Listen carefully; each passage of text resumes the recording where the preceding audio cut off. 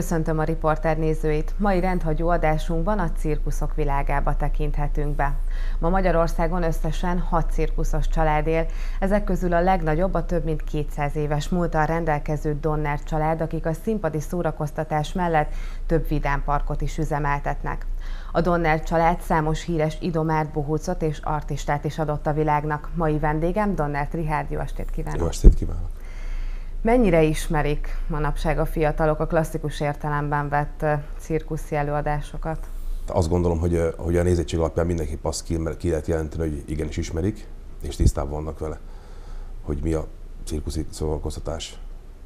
A cirkuszos dinasztiáknál jelentős az, hogy a generációk megmutatják a tehetségeit, tehetségüket, lényegében minden generáció megmutatja. Nálatok mi az, ami húzóákként szerepel a repertoárban? Mindenképpen az állatokkal való foglalkozás, idomítás, és gyakorlatilag az egész család szinte kivétel nélkül mai napig is az állatokkal foglalkozik. Itt uh, megemlíteném elefánt, tigris, fóka, papagáj. Hogyan alakult ki, hogy ti inkább az idomárkodás felé veszitek az irányt, főleg, hogy a tigrisekkel szeretnétek foglalkozni? Hát egyrészt talán az állatok szeretete az mindenképp egy irány lehet másrészt meg talán itt mutatkozott meg legjobban a tehetség az őseimnek, én azt gondolom. És amikor kitaláltátok azt, hogy ti mondjuk akár cirkuszi előadásokkal szeretnétek foglalkozni és idomárkodással, akkor mi volt az első állat, amit betanítottatok? Arra esetleg emlékszik valamelyik családtag? Hát az, hogy kitaláltuk, az talán talán túlzás, mert igazából ez valahogy ilyen veleszületett dolog volt. Tehát éltem szerint, tehát ott kezdődött minden ilyen dolog, hogy mondjuk fogtak egy kiskutyát, és úgy gyerekként elkezdtek vele játszani, foglalkozni, és talán így, így alakult ez ki, hogy később már egy, egy lovat is lehetett kellőképpen kezelni, idomítani, és akkor szépen jöttek a lépcsők. Melyik a legnehezebb állat, amivel foglalkoztatok eddig? Hát a legnehezebb talán, talán, talán azt lehet mondani a ló. És miért? Azért, mert például egy tigrisnél vagy egy elefántnál, ha sikerül elérni azt, hogy azt tegye, amit az ember elvár tőle, akkor gyakorlatilag innentől kezdve egy, egy nagyon minimális tréningre van szükség, és kifogástól tudja végrehajtani a dolgokat. A lónál viszont folyamatosan szükség van arra, hogy annak én, hogy talán a ló leggyorsabban, de folyamatosan szükség van arra, hogy komoly tényeket kapnak minden nap, és talán ezáltal azt merem mondani, hogy a ló az, amelyik, amelyik talán nehezebben idomítható. Az idomárkodáson kívül mi volt még az, amiben nagyon tehetséges a Donner család? Igazából, amivel alapot, egy komoly alapot helyeztünk le a cirkuszi szakmába, az a lovas akrobatika és a lovas zsonglőr. Ami azt jelenti, hogy a ló hátán különböző szaltókat, tornagyakorlatokat mutattak be, zsonglőrködtek, azért ez egy nagyon nehéz történet. Ugye maga a talon is előadni egy szaltót, vagy, vagy, vagy, vagy egy vába állást nagyon nagy koncentrációt igényel, és plusz ezt megfűszerez az, hogy a lóhátán történik, azért ahhoz, ahhoz kell még egy felfokozott ügyesség, vagy nem is tudom, hogy fejezem ki. Tehát az egy elég nehéz forma, és gyakorlatilag most már nem vagyok vele pontosan tisztában, de talán a lovasoknak a hungarikum is lett. Tehát ez, ez egy komoly szakága a cirkusz történetében, amit, amit kimondtam magyar specialitásnak mondanak a világ bármely pontján, és azért ezt, ezt a magyar is űzik a legjobban a mai napig. Ugye azt tudjuk, hogy nagyon sokat változott az állattartás, illetve nagyon komoly szabályok alapján szabad állatot tartani. Nektek milyen szabályokat kell figyelembe venni, vagy milyen kialakult élethelyzetet kell nekik megteremteni ahhoz, hogy egyrészt, hogy maximálisan figyeljenek rátok, és idomítani tudjátok őket, illetve az, hogy ők jól érezzék magukat ebbe a környezetbe. Én személy szerint nagyon örülök ennek a, a dolognak, hogy jobban felszírető most az, az állattartás, mert bizony azt is sajnos el kell mondjam, hogy nem mindenhol egyforma körülmények közt tartották az állatokat, vagy tartják, vagy talán a mai napig is, és mindenképpen jó tett az állatoknak is az, hogy, hogy próbálták ezt szabályozni, és valamilyen formában kordába tartani. Előírások vannak arra például, hogy egy lovat hányszor hanyas boxba lehet tartani, egy elefántot nem lehet megláncolni, szóval rengeteg ilyen, tör, rengeteg ilyen, ilyen törvény született ezzel kapcsolatban, és tehát azért azt el kell mondjam, hogy, hogy a cirkuszi szakmában az állatok nagyon nagy becsbe vannak tartva. Szóval családtag. Az egy, tehát egy élet, egyrészt ugye együtt élik az életüket, a mindennapjaikat, és ezáltal egy kicsit be is szorulnak a, a gazdák vagy az idomárok, ugye, mert az nem lehet, hogy most én fogom magam, és akkor szépen el szeretnék menni szombat este egy bába, vagy, vagy, vagy, vagy, vagy elmek nyaralni három-négy napra, öt napra, mert ezt ne, ne, nagyon nehéz megoldani, főleg olyan állatnál, mint például az elefánt, vagy, vagy egy tigris, ami kötődik a gazdájához, és nem mindegy, hogy ki kezeli, hogy kezeli. Tehát ez egy elég nagy probléma, és tehát visszatérve az eredeti kérdésre, igenis jók ezek a szabályzók, mert én azt gondolom, hogy most már olyan, olyan szintre elmekedett a cirkusz eltartás, hogy hogy nem nagyon lehet kifogást találni abba. Az állatok jó érzik magukat, szaporodnak, ezek nagyon fontos dolgok például. És sok tévhitel ellentétben akár egy, egy kutyánál, vagy, vagy egy háziállatnál, szóval itt az idomítással kapcsolatban muszáj a jó kontaktust kialakítani az állattal, és nem lehet, sokszor mondják, erőszakot alkalmaznak, ütik, verik az állatokat. Most ezt el tudjuk képzelni, hogy mondjuk egy tigris esetében, hogy én ezt elkezdem pofozni, vagy ütlegen, tehát abból soha az életben nem lehet semmit, de akár egy lónál se, ugye, akkor az félelmet fog generálni, nem fog együtt dolgozni, bizalmatlan lesz a gazdával, tehát ez nem működik. Ugyanúgy, mint egy, egy kutya kiképzésnél, csak a jó kapcsolat, a játékosság, és gyakorlatilag ha jól megfigyeljük, azokat az elemeket használják például mondjuk egy, egy elefántnál is. Tehát nyilván olyat, olyat nem lehet kérni tőle, ami nem természetes. Tehát olyan mozgásokat próbálunk parancsszóra előhívni, amelyet a természetben is megtesznek. Például az, hogy két lábra állnak, ugye ágaskodnak egy falomról, szeretnék levenni éppen a gyümölcsöt a szabadba, vagy, vagy lefekszenek. Tehát ezek, ezek a, a dolgok, amiket, amiket el lehet várni tőlük mindenféle erőszak nélkül. Ugye aki a cirkuszos dinasztiába beleszületik, annak teljesen természetes ez az életmód. Történt olyan a fiatalok körében, aki ebből szeretett volna kilépni, vagy mindenki megmaradt ugyanebben a mederben? Szinte kivétel nélkül mindenki ebben a mederben maradt, én azt gondolom. Tehát aki ebbe beleszületik, ott, ott adottak a lehetőségek, nyilván el lehet menni, lehet próbálkozni. Az az alapok megvannak, vagy azt, hogy pici talán velünk is született dolgok ezek, de, de ugyanúgy könyörödik vissza mindenki. Tehát nem, nem tudok arról a családba, hogy, hogy valaki esetleg más pályát választott volna. Azért kell ennyi gondolkodni rajta, ugye, mert elég sok felé élünk a világban, rokonok, család, a tengeren túl, Európában, nagyon sok helyen is próbálom összerakni a rokonságot, de tehát mindenki ezzel foglalkozik. Mindenki ezzel foglalkozik. A sok fellépés mellett, és az, hogy ennyire szerteágazó a család, és hogy ennyi fele vitte őket az útjuk. Hogyan tudtak találkozni? Van esetleg olyan fix időpont az évben, amikor mindenki össze tud gyűlni, vagy azért a szórakoztatóiparnak megvan ez a hátránya, hogy sajnos kevés idő jut egymásra? Kevés idő jut mindenképp, szóval nagyon nehéz itt összehozni a, a nagy családot, úgy mondom, a nagy családot. Ugye hát különböző dolgok, fellépések, szerződések, tehát nagyon nehéz az, hogy, hogy most például karácsony ünnepekor valamelyik nap fussunk össze bármelyikünk, és akkor ott legyen a, úgymond a nagy család. Ez nagyon eh, nehéz manapság összehozni. Még amikor a nagy öregek eh, éltek, itt most a nagyszüleim generációra gondolok, akkor, akkor valahogy, valahogy jobban megvolt ez a dolog, de most, most eh, egyre távolabb kerülnek a, a rokonok így egymástól ez, ez mind a munka, ez mind a munka. De amikor van rá lehetőség is, eh, pont van egy, egy olyan időszak, amikor, amikor éppen nincsen munka, vagy haza kell jönni külföldről, éppen uh, valamilyen papírmunkát elintézni, vagy egy útlevelet, vagy, vagy a bármit, azért általában akkor úgy, úgy gyorsan van egy, egy villámlátogatás elég, azért szoktunk találkozni egymással. De ritkán már azokra össze tud a nagy család.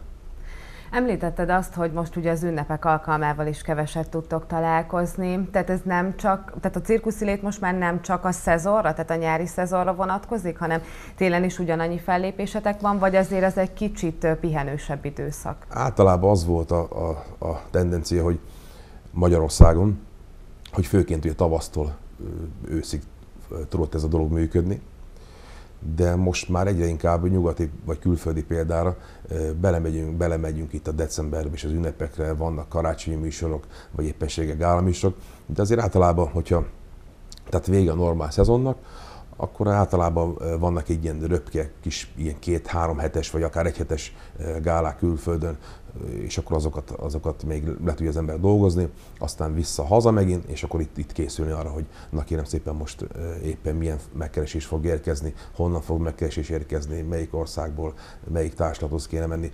Ezek hamar eldőlnek, és nyilván arra készülni kell, össze kell rakni a dolgokat, ugye papírmunkát ismételten, meg hogy ugye ott milyen követelmények vannak, erre mind-mind föl kell készülni, ugye akár a gépelművek műszaki vizsgát, sok-sok dolog van, amikor mióta az ember el tud indulni útnak a szezonba. Melyik volt a legemlékezetesebb külföldi utazás? Vagy milyen országokba jártatok?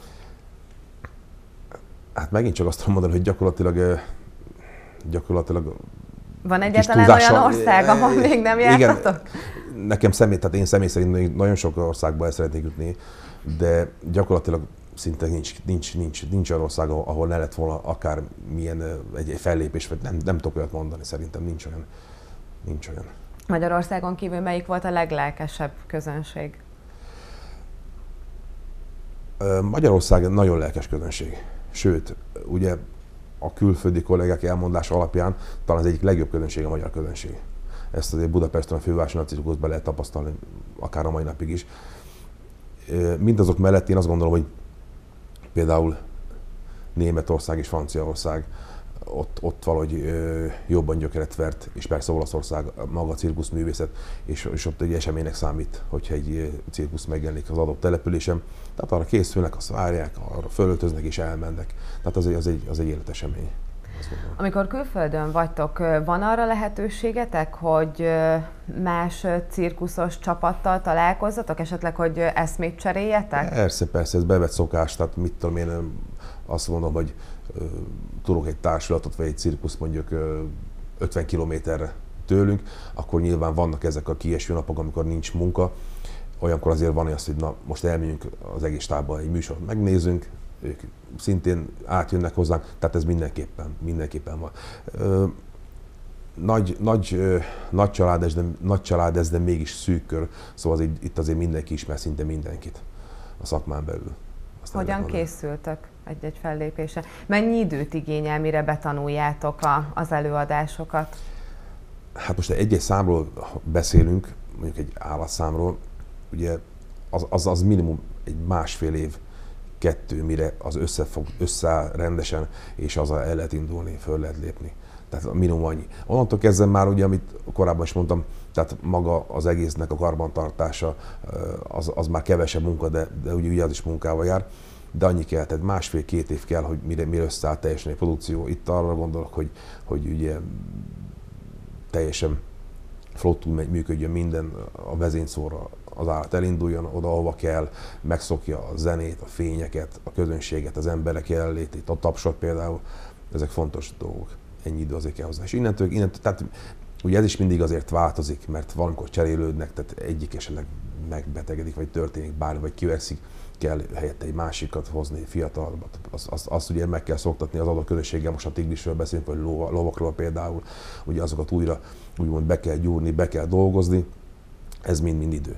Hát a, a, maga az artista része ugye, hát adottak a dolgok, még az ember fiatal, jókarban van, és el tudja végezni azokat a dolgokat, ugye, amit az emberek csodálnak, azt tud működni. De ugye itt hamar, hamar ugye, úgymond tönkre az ember, mint a sportolóknál, elkopnak az izületek, elfárad a test, nem bírja már ugye, ugye az izomba csontozat, és általában egyébként ilyenkor szoktak átváltani a családok, az artisták arra, hogy állatokkal foglalkozzanak.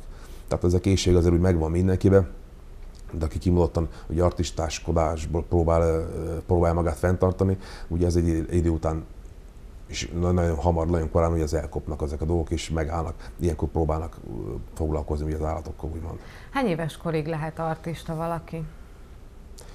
Én Ez tud... csontozattól függ, egészségi hát állapottól, nyilván... vagy azért mindig megvan az a, az, a, az a mondjuk 30-40 éves korosztály, aki már inkább akár a zsonglőrködéssel foglalkozik, vagy az idomárkodással?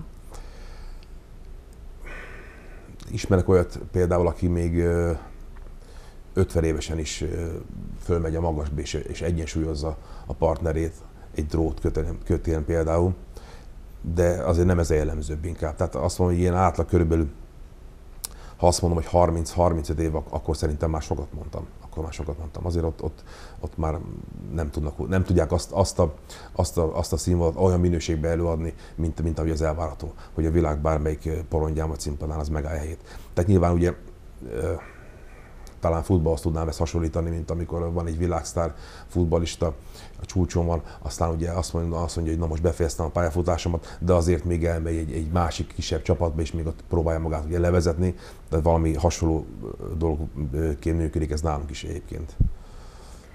Ugye a cirkuszos élet az nagyon sok utazással jár. Mennyire nehéz és kemény ez az életmód? Hogyan képzeljük ezt el? Ugye én például emlékszem arra, hogy amikor én gyermek voltam, akkor az iskolámban sokszor volt olyan egy-két hét, amikor cirkuszos gyerekek jöttek hozzánk tanulni. Ez ma is jellemző, vagy azért most már van, aki otthon marad? Most már szinte, szinte a javarész majdnem mindenki otthon marad, hogyha ezt meg tudja tenni. Tehát vagy az egyik alternatíva, vagy pedig az, hogy fogadnak egy magántanárt, és akkor így próbálják ezeket a tanulmányokat elvégezni. Régen bizony ez volt a bevett szokás, hogy vándoroltak, ugye most Magyarországon beszélünk hétről hétre, másik iskolába jártak. Én már, én már, én például az első közt voltam, aki, aki otthon maradt, és a nagyszüleimnél laktam, és egy helybe jártam iskolába, Lőrinci erőműnél, Mátravidéki erőműnél, tehát én, én az első közt voltam, akik, akik ezt így végezték, és utána nagyon sokan már ezt tudat választották. Mert például volt olyan, nem egyszer, nem kétszer, nyilván, hogy ugye nem egyformán, egyformán haladtak mondjuk Pilisen, mint mondjuk Hajdúszoboszlón, és akkor például az édesapám mondjuk már hatszor felelt az anyám tyúkjából ötösre, mert az úgy betéve tudta, ugye, és akkor elkezdtek vándorolni egyik településre a másikra, hát ott pont ez volt még. Ott másik ilyen pont ez volt még, és akkor gyakorlatilag elhűvéskedték az órát, mert ez már nekik megvolt. Tehát igen, ez, ez így működött. A férjek és a feleségek, amikor beházasodnak a családotokba, mennyire tudják felvenni a ritmusotokat? Ö, itt fel kell venni a ritmust. Tehát muszáj felvenni a ritmust, az igazság az. Tehát nyilván, ha szakmán belül választ valaki párt magának, akkor, akkor, az, akkor az talán egyszerűbb, bár ezt nem lehetne így kijelenteni. És ugye van, aki a privát szférába érkezik, hát annak meg nyilván nem is kötne itt ki, hogyha ezt nem tudná fölvenni ezt a fordulatot, ezt az életritmust, akkor eleve, eleve már itt az egész kudarcba fulladna, én azt gondolom. A cirkuszon kívül ugye több ö, körhintát is üzemeltettek, illetve különböző vidámparkokkal is foglalkoztak. Itt 60-ban is látható az egyik retro körhintátok, amit a gyerekek itt ingyen használhatnak a, a főtéren. Ha jól tudom, akkor több településsel is versenyzett a város. Miért esett 60-ra a választás, illetve kik voltak az ellenfelek, hogyha lehet így mondani? Hát azért esett 60-ra a választás, nyilván egyértelművel itt élek én is, és itt lakom. És az ellenfelekként nem akármilyen helyszínek kerültek szóba, például mint a Budapesten a Vörös Marti tér, vagy éppen a Bazilika előtti karácsonyi vásár. De mi sorolhatnék egy-két dolgot, de talán ez a kettő a legjelentősebb. És hát nyilván én azt gondolom, hogy azért szeretem a városomat, itt élünk, itt lakunk, akkor ez egy, ez egy szép dolog, én azt gondolom, és nagyon belepasszol, hogy jövőben meg van csinálva, ugye most idén is ez az egész belvárosi rész, itt gondolok a jégpályára, a karácsonyi vásárra, a dekorációkra, az élőbetelemre, és ez nagyon-nagyon üde színfolt, én azt gondolom, és egy nagyon szép gesztus a gyerekek részére, hogy ingyen használják ezt a dolgot egészen karácsonyig. Tavaly is itt volt a körhinta, és ugye ebben az évben is szerencsére a Kossuth teret díszíti. Népszerűbb idén a körhinta, mint tavaly volt?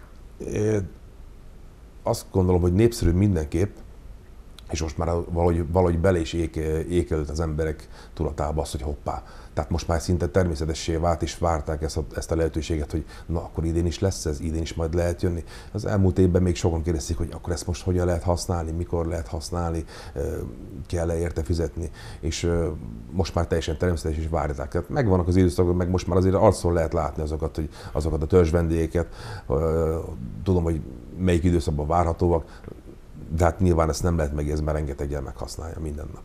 Minden nap. Köszönöm szépen. Donnert Rihárdal beszélgettünk. Kedves nézőink, Önök a riporter külön kiadását látták. Tartsanak velünk legközelebb is viszontlátásra.